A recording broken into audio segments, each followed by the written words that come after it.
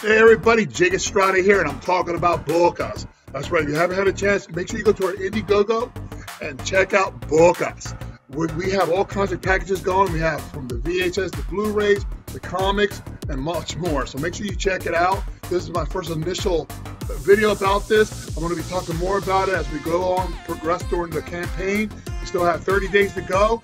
Uh, if you, I need support people, this is going to also help for the film premiere. We're having a film premiere. On top of that, if you're a filmmaker, you also can check out our Film Freeway, where we're having our our film festival, which is going to take place in the Merritt Square Mall, right there in the CMX movie theater. We're going to have the movie playing, uh, there, along with other films playing. So, people, if you have a film, you want your film to be before Us, sign up.